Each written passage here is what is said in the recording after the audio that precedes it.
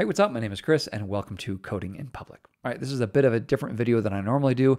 Is Astro too complex? Well, that's a question that I think we need to start asking, and my answer overall will be no but I'm going to talk through some reasons at the end why I think it could get too complex if they're not careful. So, to start with, why are they not too complex?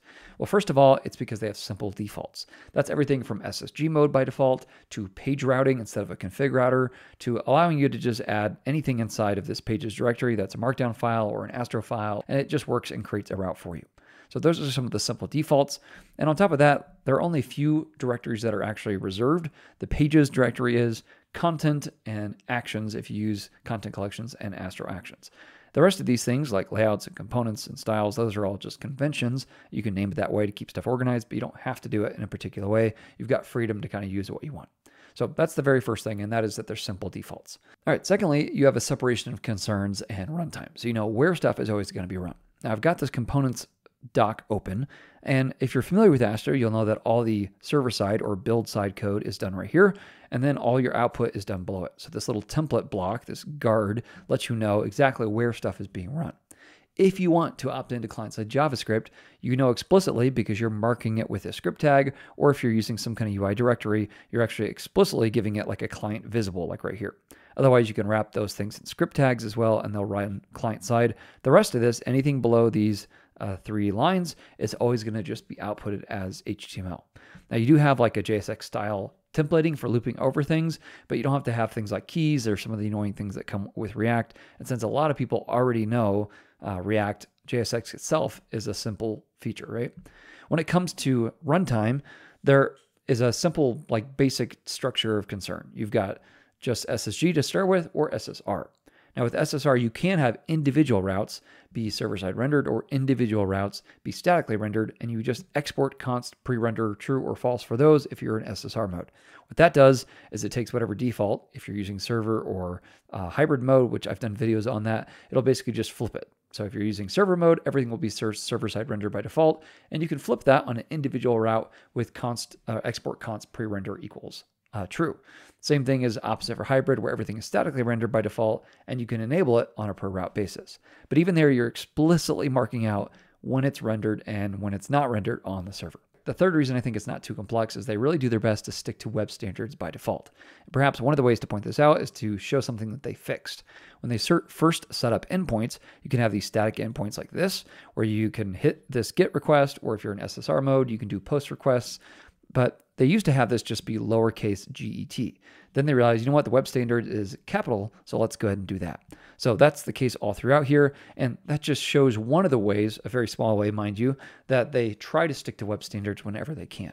That's the case when it comes to the response. So you have to return an actual new response. You can't just like return true or something like that. You have to actually return a response like you would expect using the web itself, right? The web framework. All right, number four, there's a lot of niceties, but those niceties are just progressive enhancements.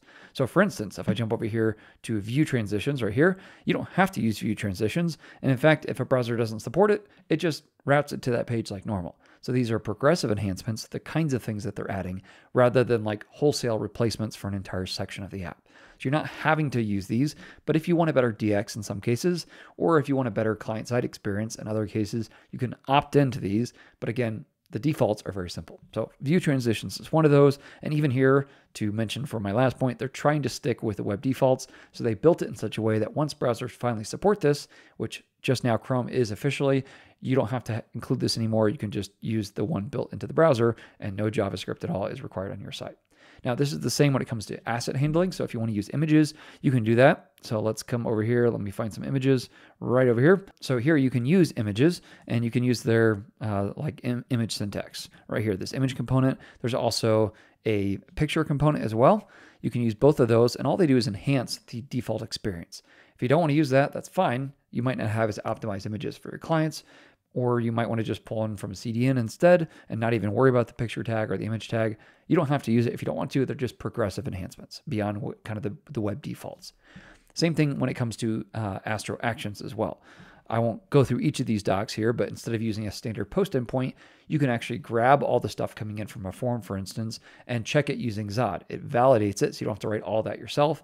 And even with these progressive enhancements, not only are they progressive, sometimes they actually make the web defaults simpler. So in that case, you write much less code and you get a better result. Now, final reason is that these integrations, which are a lot of the things that kind of feel like they make Astro more complex, they're all opt-in. So whether it's a UI framework or some some kind of SSR adapter or other integrations like MarkDoc or AstroDB or PartyTown or sitemaps, those are all opt-in. You don't have to include those.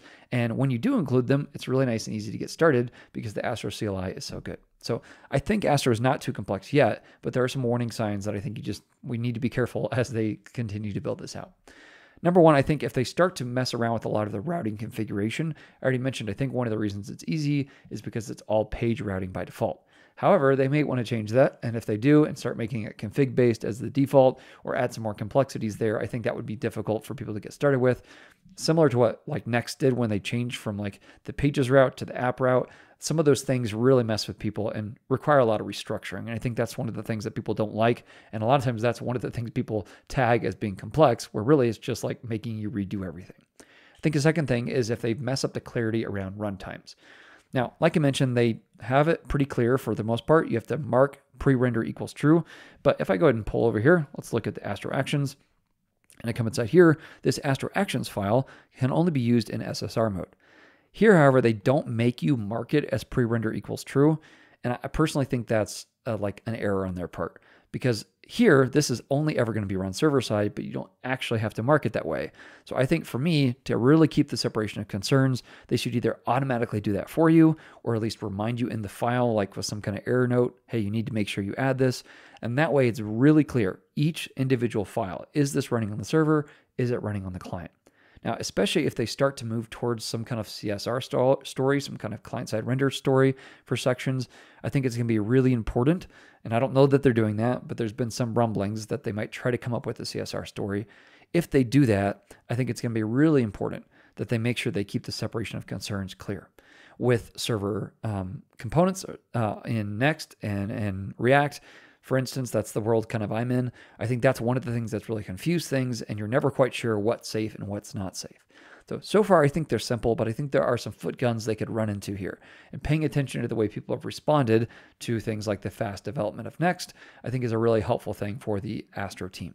Now, one thing that encourages me is even when they're adding new things, like I said, they're progressive enhancements, they don't replace everything. And they're sticking to those web standards even when it comes to that. And when they make an error, they quickly adapt it. The other thing is I've had Astro sites now for two or three years that I've only ever made like very incremental small updates in spite of, in spite of the fact that it's been sometimes years between like when I first built it and when I'm changing to the latest uh, features. Nothing really breaks because again, they're just adding these progressive enhancements. So those are my thoughts on whether or not Astro is too complex. And uh, I'd be interested in what you think. Let me know in the comments below. Thanks so much. I'll catch you in the next one. Happy coding.